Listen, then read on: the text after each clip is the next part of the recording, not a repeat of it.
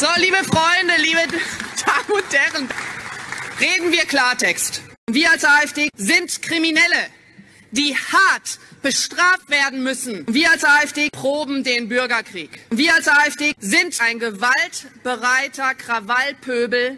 Und wir als AfD sind keine Kämpfer für das Gute, sondern eine Terrororganisation, die verboten werden muss.